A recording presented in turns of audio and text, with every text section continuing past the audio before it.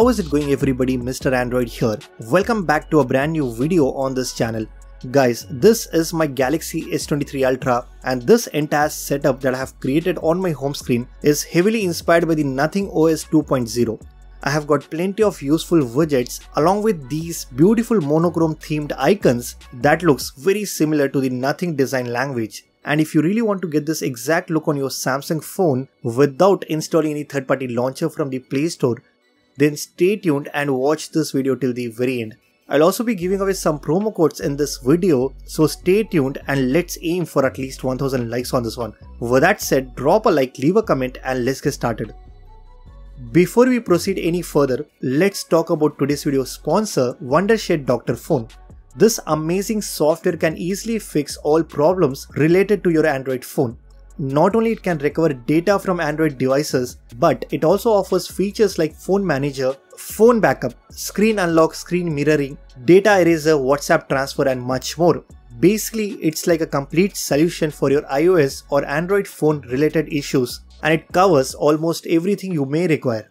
For example, let's say you deleted some important pictures from your gallery and you really want to recover all those deleted files. All you need to do is just download this software onto your PC from the link that I have provided in the description below. Once done, simply open and select data recovery. Here you need to connect your device to your PC and now simply follow the instructions that you see on your screen. Finally, it's gonna ask you what you want to recover from your phone. You can recover contacts, messages, call history, photos, documents, files and audios as well. I'll select photos and click on continue. It will take some time to show all the pictures on your screen. Simply select all those images that you would like to recover and then tap on done. It's a very simple process where you can easily recover all your deleted files. Make sure you check this one out. You will find a direct link in the description below. Alright guys, first things first, you need to press and hold on your home screen, go to settings and make sure the home screen and app screen grid size is set to 4x5.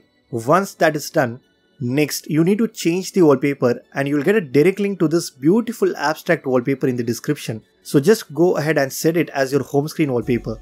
Now let's talk about the icon pack that I'm currently using on this setup and it's called Charcoal Flat Icon Pack. This pack is completely free on the Play Store and it comes with more than 2000 circular shaped icons with a dark background which definitely gives a monochromatic look to it.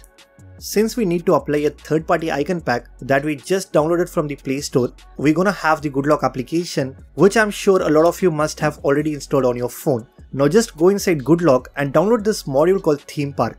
Once done, go to Theme Park, click on icon, tap on create new and here select this option that says icon pack you will see a list of all different icon packs which you have downloaded from the Play Store.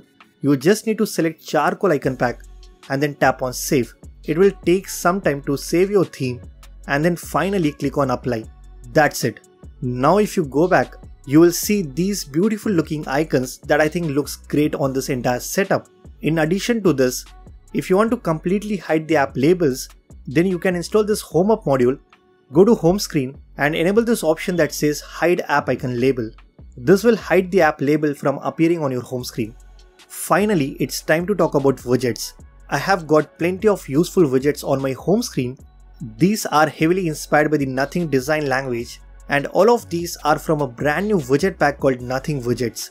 This pack is specially for people who likes to have a consistent and an organized home screen setup.